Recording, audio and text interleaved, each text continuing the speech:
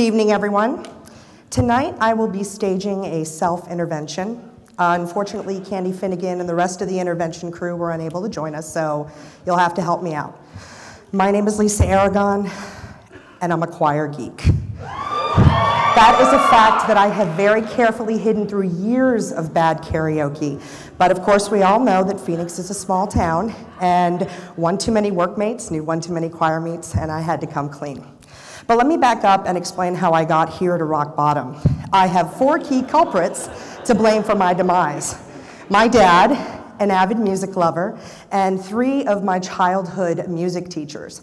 They led me down this primrose path that somehow, if I was involved in music, it would make me cool and popular. Nice hair, huh? I was in for a massive reality check, but luckily there were enough theater geeks and choir geeks, and we had amazing experiences on and off stage.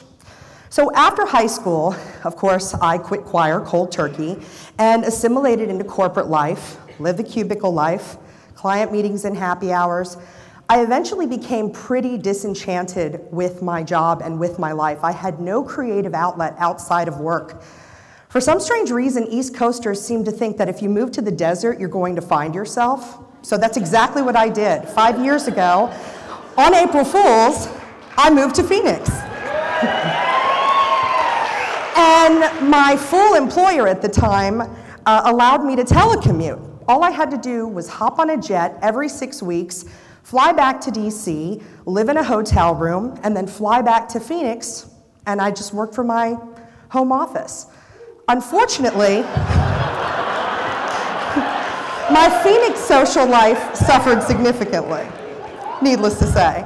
After one too many drunken evenings, I decided it was time to get that creative outlet back in my life. I did some research and I found a non audition women's choir here in Phoenix. I actually found many choirs, but this choir resonated with me. I didn't join right away.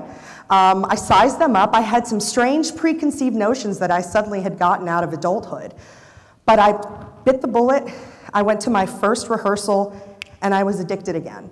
It's this amazing cacophony of harmony and sound that levitates over you, it's, it's better than sex. And that's just rehearsal. but it's, you know, it's not just about the music. It's a group of women from 19 years old to 90 years old, all walks of life, getting together for the love of music, but then loving each other, forming this amazing community and bond. Right now, they're performing, and I know that I could call 50 women, 50 plus women, and they'd be there for me and my family. But, course, with anything, there are, there are drama queens, there are ingenues, there are fights, like any good family, but we're there for the common bond of singing and enjoying each other.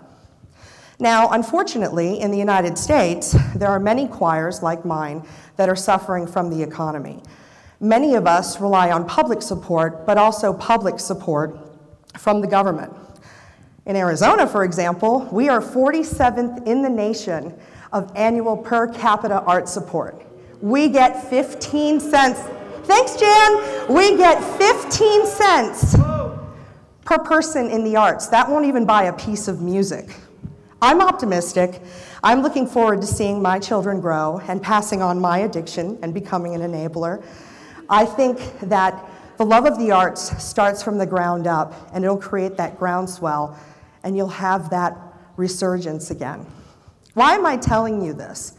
There's a theme that's happening tonight with all of these presenters. It's important to find your voice to challenge yourself, to do something that's going to make you absolutely uncomfortable, like what I'm doing right now.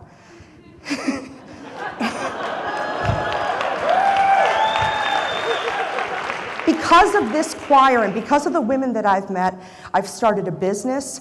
I found love again. My partner is actually part of the choir as well. And I'm in this amazing place in my life that I never thought I would be in again. There's a poem by Eleanor Roosevelt that was actually rendered into a piece that the choir did some time ago. It's become kind of our mantra. You must do the thing you think you cannot do. And if there's a theme tonight, it's got to be that. So, Clearly, this intervention hasn't worked. I'm going to go back and score a piece of music. So, support your choirs.